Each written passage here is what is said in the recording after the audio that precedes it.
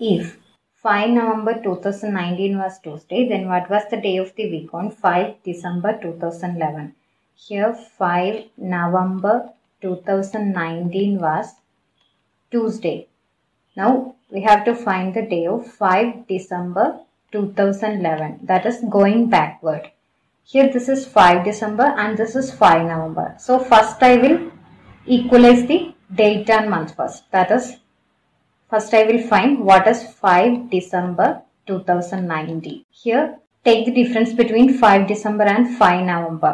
That is in November there are 30 days and 5 days are already gone. So remaining 25 days in November plus 5 days in December. Total 30 days which means there are 2 odd days between these two. So 2 odd days means Tuesday plus 2 Thursday is 5 December 2019.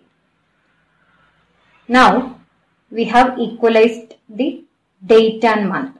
Now take the odd days between these 2011 and 2019. Just find the odd days between 2011 and 2019.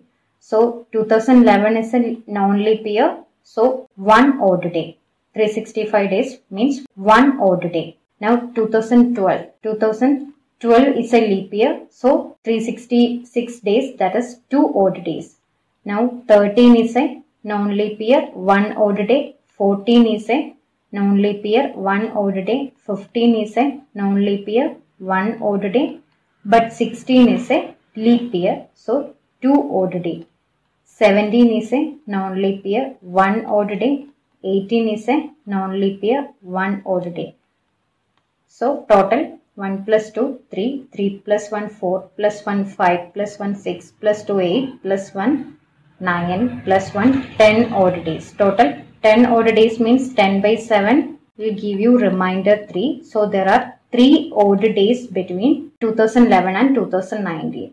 So here this is going backward. So Thursday minus 3. 3 odd days means this is going back 2019 to 11.